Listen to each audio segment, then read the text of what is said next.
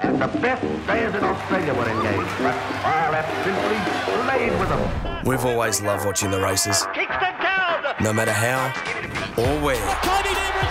Now, how we watch the races is about to be revolutionised. Go to racingnetwork.com.au or download Racing Network's new app for iPhone, and you can have live race vision, race replays, expert form, and the latest news in your hand, up close and personal.